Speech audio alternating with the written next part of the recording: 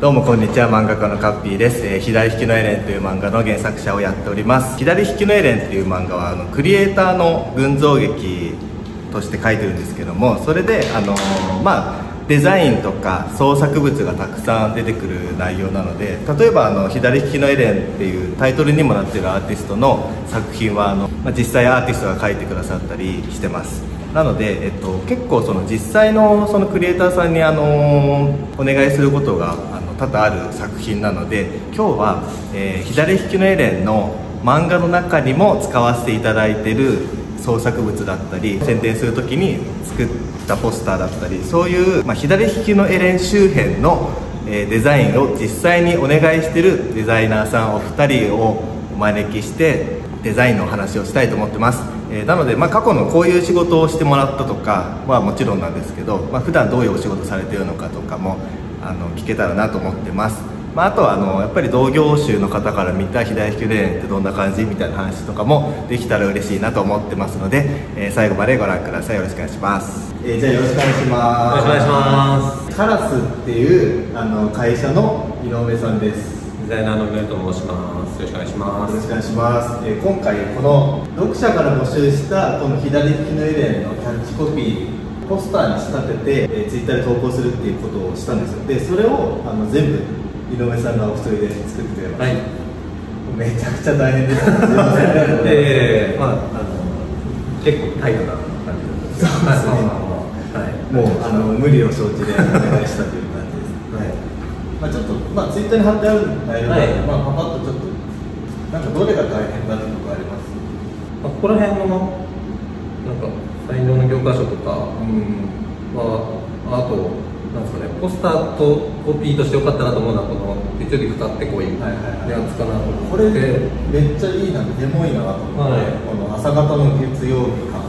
そのジャンプの月曜日とつまりとそのまあ徹夜明けみたいなかかってるっていう部分でコピーとはまた別のビジュアルとしてのこの相乗効果みたいな掛け算みたいのがポスターになった時に生まれたかなと思ってなんかまあこの、えっと、いろいろ作らせてもらったんですけどこの中ではなんか一番思い入れがあるかなと思ってます。これも良かったの友情努力賞ああそうですね。いろいろはい。試してくださってこの、はい。紙が破けて、はいはい。最初がそうね。そういうのもいろいろやってもらった上でこれかなっていう。うんあ結構ほ他のも全部何パターンかずつ作ってくれてるんですよ。だから結構、はいトータルこの短い時間であのかける34倍ぐらいのラフ案をバーッと作ってくれてたと思うんですごいはいめちゃくちゃ大変だったと思うんですけど、まあまあ作業的にはそんなこれもねビジュアルのおかげで。ああまあより分かりやすくなったって感じですかね、こうなんか漫画の絵じゃないものとはめあはめてその、はい。こう広告にするのがなんかあー。の新鮮でよかったなまとめのポスターこれ三國さんにもよろしいです稼働してもらってもう関わったみんながスケジュールないっていう状態でこれもあの連載の合間にバーってちゃんと書いてくださってありがたいのでこれこあの拡大しないと伝わらないけどあのわざとラフっぽくしてくれてるんですよねこのこの感じ。そうそうそうそうなんかあの普通の漫画の絵じゃなくてあのララフ画っぽくやってくれてるんでなんかその辺も含めてその三國さんのセンスでいいなでちょっとあの井上さんの普段のお仕事をはい。拝見してもいいですか、はい。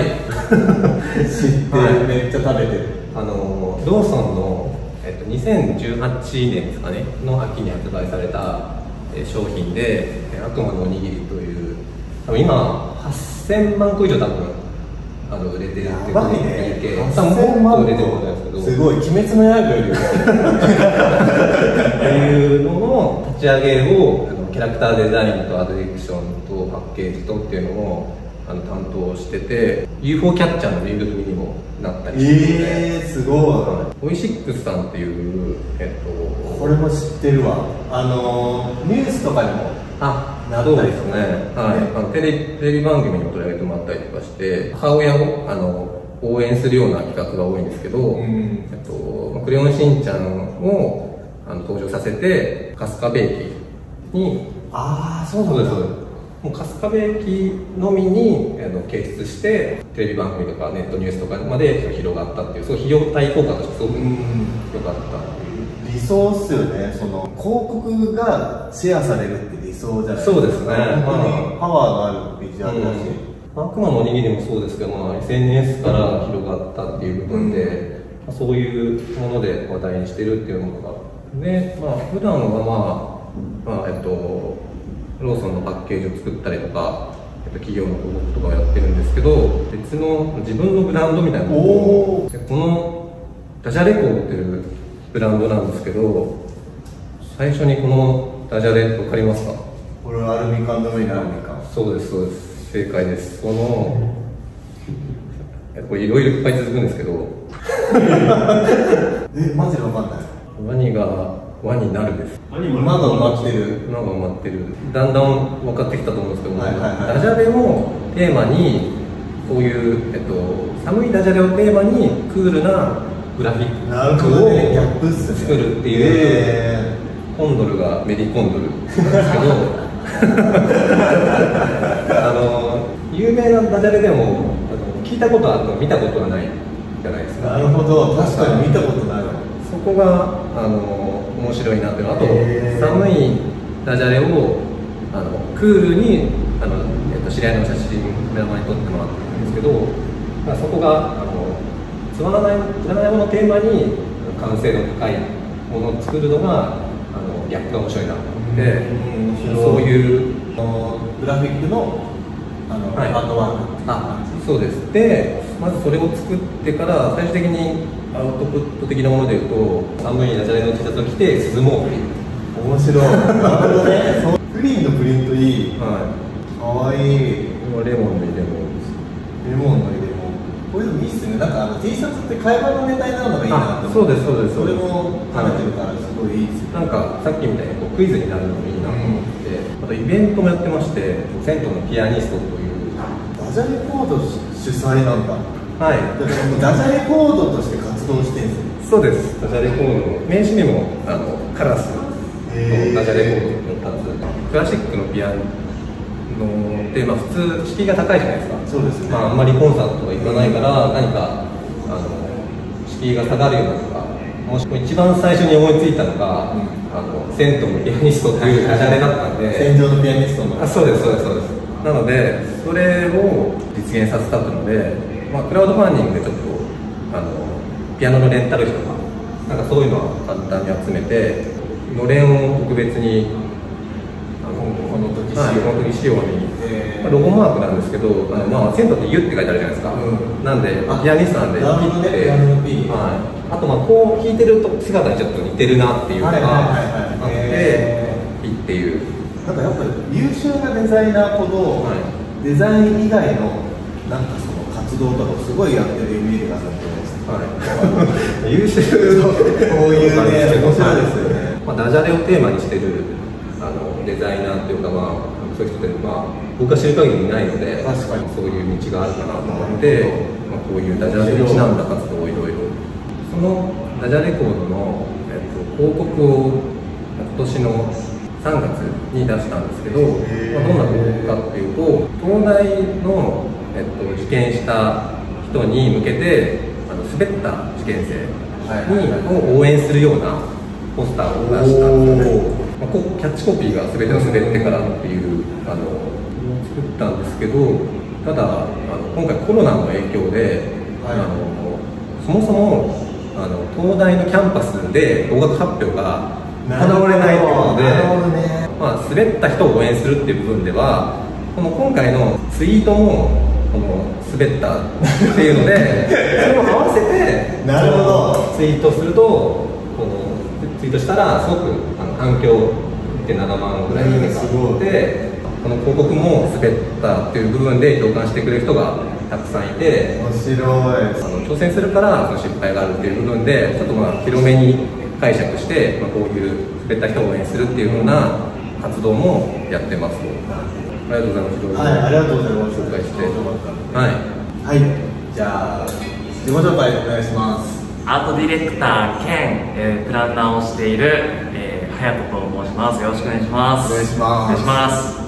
隼人はねはい。左式レレンの常連デザイナーで、ね中のものとかもいろいろそうですね。最近のあのリメイク版のインビテーションの部分だけを作る。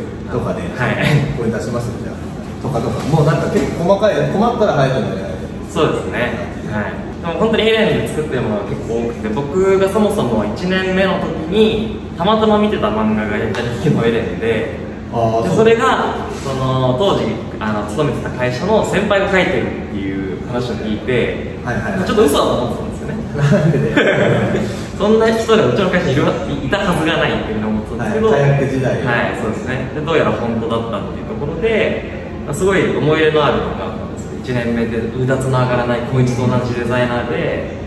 でも中身嫌なきゃやばいけど1年目1年目から嫌だって。1年目から嫌なきゃはいでまあその思い出がある漫画でちょっと出会あのカッピーさんとあの出会ってやらせてくださいっていうふうに言ってあの伝説のクラファンと言われている左利きのエレンのあの単行本化ですね、あの第1部。これのデザインあの想定だったりとか表紙のデザインめっちゃかっこいいよね。はい。イラストとめっちゃ合ってますね。印刷のあの加工とかもそうですね。ちゃんと見てくれて。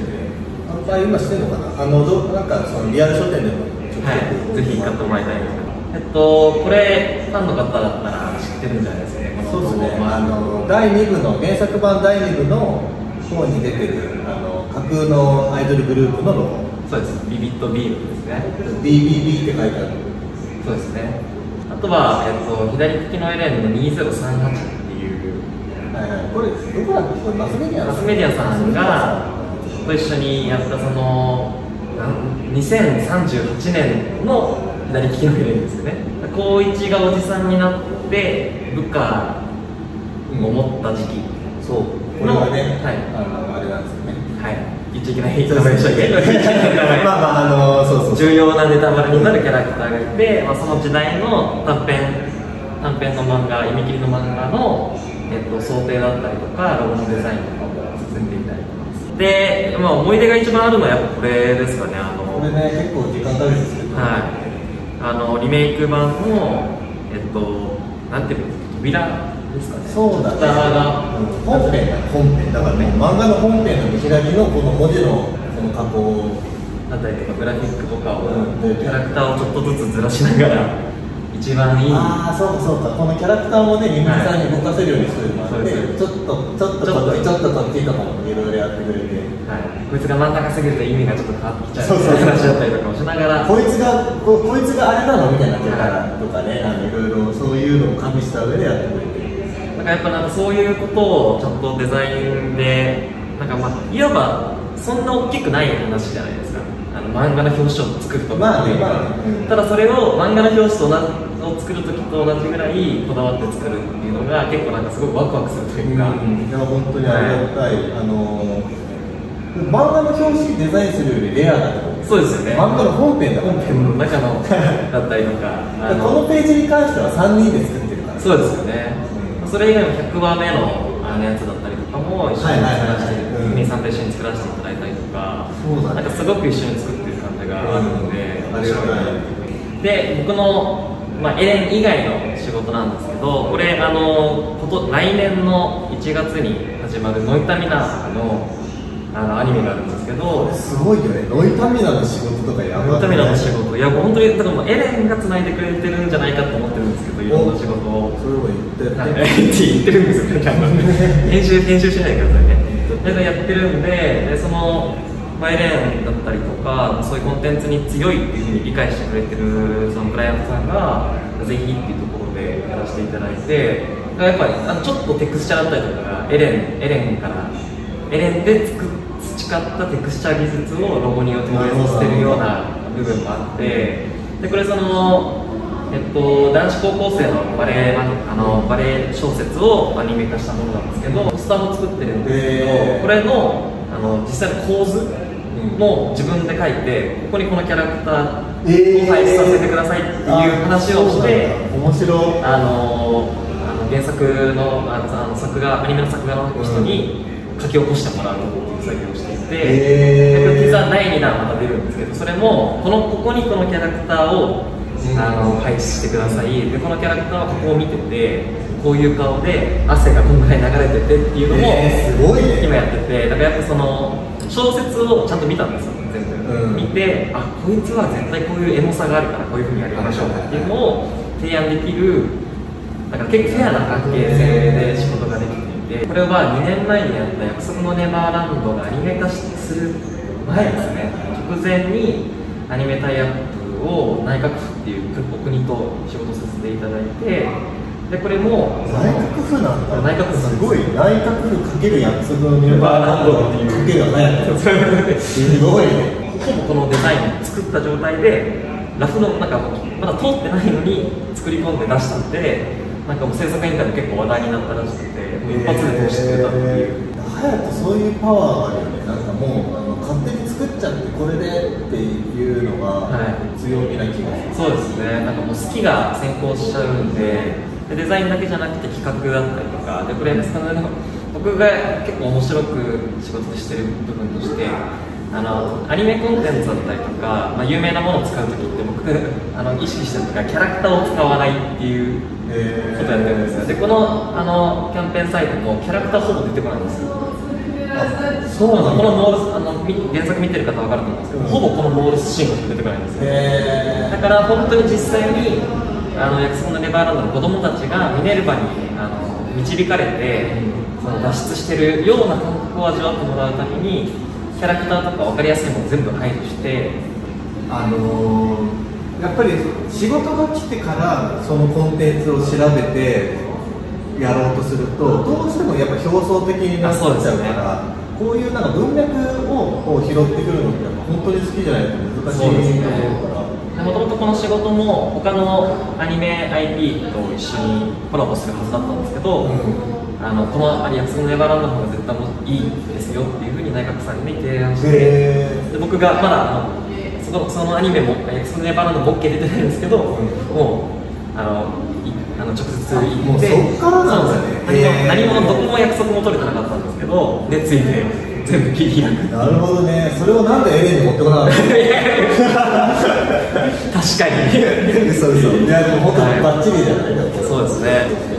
で、これ、あのー次なんですけど、おー出た。ね、あの東のエレンっていう11年前のいやもう大好きです。広角機動隊を作ってるプロダクション IG さんが作ったんですけど、これあのコロナウイルスがあの出始めの頃ですね、4月、5月とかの時に、えっとまあ、自分の好きなもので何かができないかなっていうふうに思った時に、あのフジテレビにこれももう作っちゃって企画も全部。って言ってたよね、はい。すごいよね。作っ勝手に作ってちゃいましたけど。企画作ったんでやらせてくださいっていうふうに言ったんですけどもう10年前のアニメなんで制作委員会全部解散してて担当者いないですみたいな感じだったんですけど、はいはい絶対フジテレビのためにやりますっていう話をしたら、あの再度あのこれの監督の方に連絡していただいておじゃあもう全部全部自由に使ってっていう話になって作ったやつでこれ結構バズってあの当時の声優さんだったりとかもあの約束お願いしますって言ってないのにリツイートしてくれたりとかあのこれはあの簡単に説明するとこれもキャラクター使ってないんですよ。うん。そうだね。あのノブレス携帯っていう主人公が持ってる携帯のシステムを移植してコロナに対対策するためのシステムとして作り変えたみたいな設定なんで没入感を意識した企画なんですねなるほど。ねだからちょっとあれと構造が似てるなと思ったあの震災の時にさ、はいネルフのツイッターあそうですね特に期間ネルフあれがまああのああいう提案を本家にしてあそうですそうです。通って公式になったっていう。あそうです。でまああの当時あのズー当時というか今もそうなんですけどオンライン会議っていうことで Zoom の背景を変えるのが流行ったじゃないですか、うんなのあでもだいぶしたんだあのみんなが何かを達成する例えばその手洗いっていう言葉をあの何百回シェアしたら、この画像がアンロックされるとかっていうシステムを作って、えーえー東根ではね、はい。俺もなんかすごい影響を受けてる面白いんですよねあのアニメぜひあのねこの YouTube 見てる人も。なんかさこの、はこの写真が出回って、はい。これがあのアイコン化してさなんかその、バズるじゃん、はい。この物語のはい。その感じをなんか左手でアーティストがバズってる感じとかを結構なんかあの影響を受けてるなとあ。あのこの前あの見返したのよ。あそうなんですね。それでなんかああやっぱ影響を受けてたなと思って。確かに。すごい本当にいいアニメだいやぜぜひ見てもらいたいですね。なんかもう日本人みんな見てるだろうと思ったけど でもちょっと結構時間経つからね。11見てない人がいる年前なのかもしれない。ではいで普通の案件もやってます。普通の案件って言ったらあれなんですけど僕社広広告。告の仕事ジェットスターさんと年間のビジュアルを作ったんですけど、これ僕撮影系が結構好きで巨大なキャラクターを手作りで作って雲も手作りでへー。綿手芸屋さんで綿買ってで結構自分で作る系多いあそうですね。この前だってさなんか撮影用にビーフシチュー作ってるあそうです作ったりとか最近アイドルの仕事もさせていただいて、はでこれその真っ白なキャンパスっていうアーティストのロゴなんですけど、もう読めないんですよねこれいそうねこれ真っ白なキャンパスのキャンバスの CLVS をあ取ってでこのサイズの比率をキャンバスの F キャンバスの F5 っていう F 何号っていうじゃないですか。F の比率で作るっていうへー。そうだよね。リリースした時すごい足ガクガクになるぐらい怖いですねやっぱファンがついてるものなんで。アイドルもそうだしさっきのコンテンツ系もそうだし、はい。やっぱファンがいるものを扱うっていうのは責任があるから。そうですねありますね。うん。でもうまいよねやっぱね。あのそれをちゃんと理解した上で作ってるのがすごいわかるからそうですね。やっぱあの自分のその一員になった上で自分好みにするわけじゃなくて、うん。みんなが思い描いてた像にあの、うん。もっと進化を加えないといけないなっていう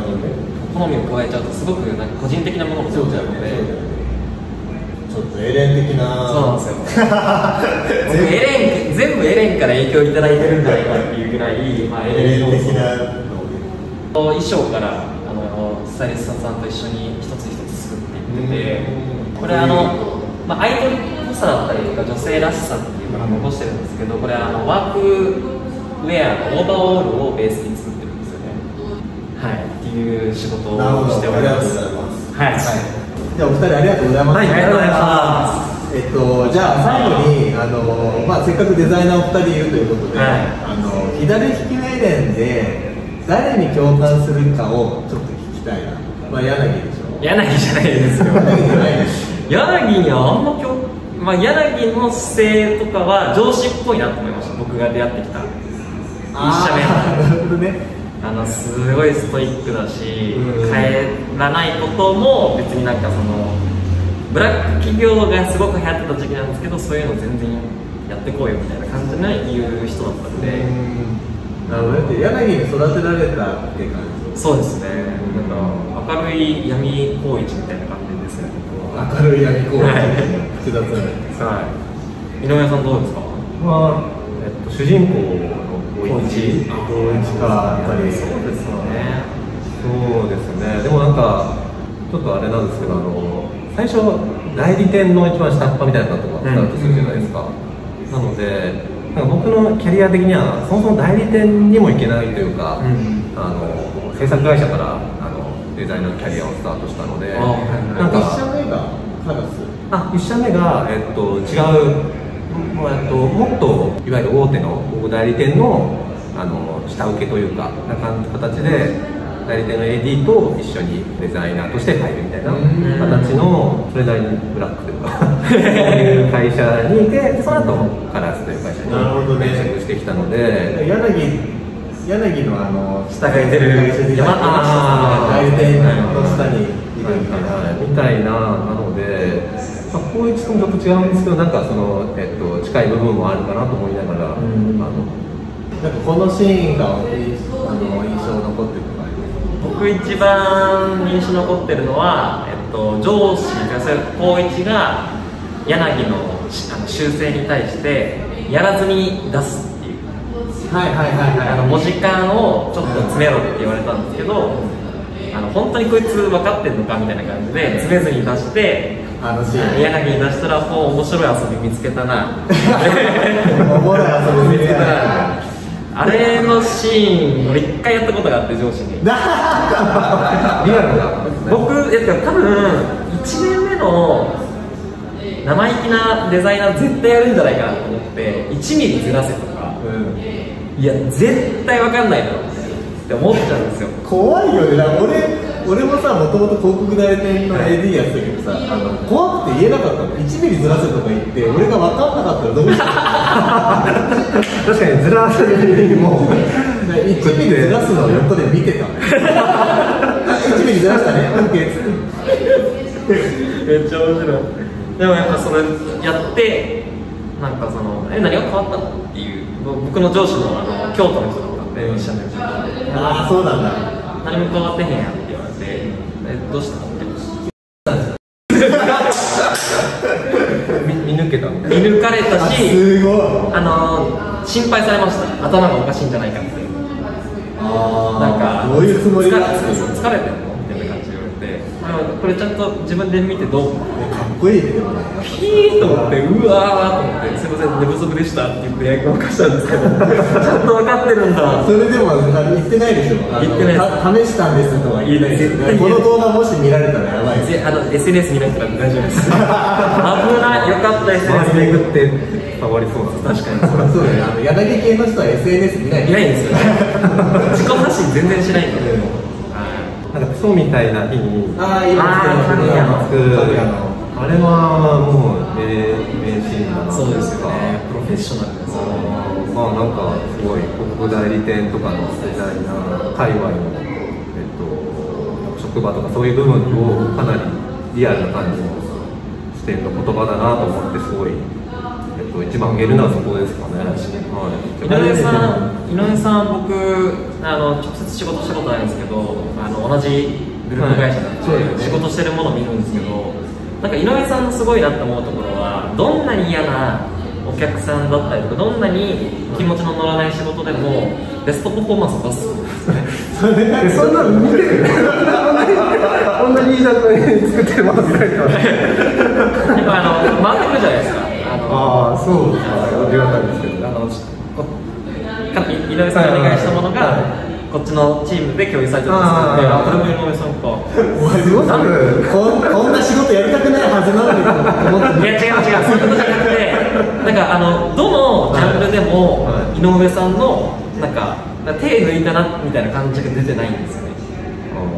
でも確かにさっき作品拝見してあの本当にあの言う通りいろんなタイプの仕事があるけどどれもあのなんか芯を食ってるというかあのちゃんとこうカキーンって打ってるなっていう感じが面白いね。タイプが結構それぞれはっきりそのやっぱコンテンツの文脈を理解してその、まあ、ある種そのファン代表みたいな気持ちで作る部分があるじゃん、はい。でも一方でそのなんかあのいろんなそのさっきのダジャレコードそうですね。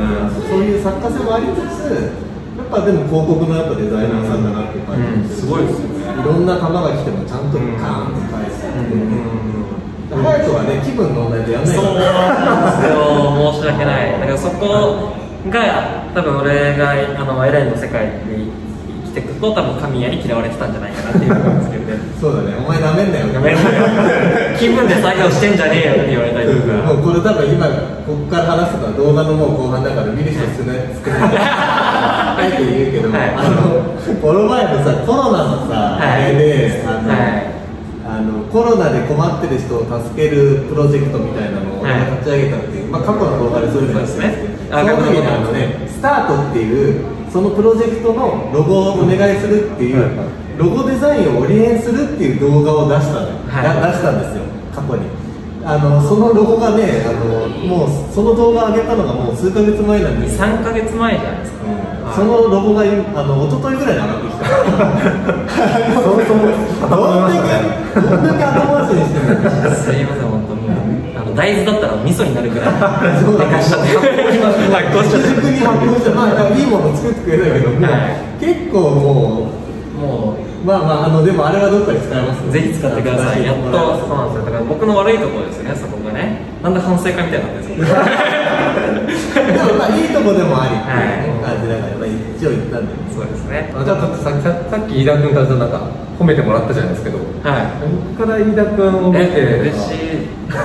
もう嬉しい。もう嬉しい。もう嬉しい。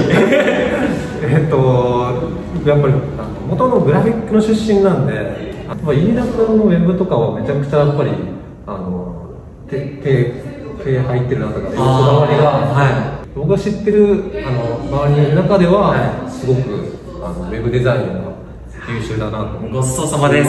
素晴らしいごちそうさまです。今日は判明できるねねもういやすごいなご飯食わなくてもいいぐらいいうのはあの、はい参考にしたりもしますあ嬉しい。基気持ちいい。この今のところはカットしますカットしないでくださいよ。悪い話で終わっちゃうじゃないですかでも本当にね、そのまあ二人お二人でもあの今後ともいろいろはいはい。いただきほしいなと思ってるんで、はい。あの本当この度はありがとうございます。ありがとうございます。ありがとうございます。チームサウスポーということでねチームサウスポー。そうですね、チームサウスポーで。はい。いいものを作っていきたいですね。やっていきましょう。はい。わかりました。